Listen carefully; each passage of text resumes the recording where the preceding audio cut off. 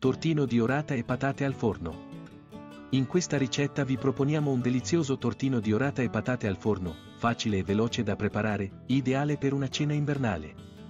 Il sapore delicato dell'orata, unito al gusto deciso delle patate, vi conquisterà per l'ottima riuscita di questo piatto. Iniziate affettando la patata e l'orata.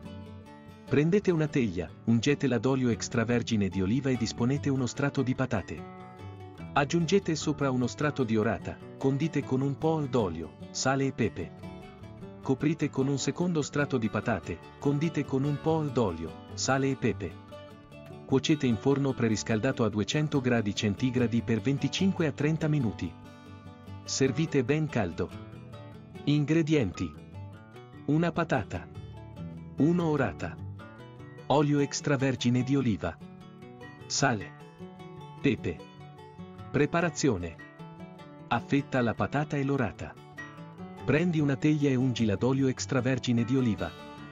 Disponi uno strato di patate e sopra uno strato di orata. Condisci con un po' d'olio, sale e pepe. Copri con un secondo strato di patate. Condisci con un po' d'olio, sale e pepe.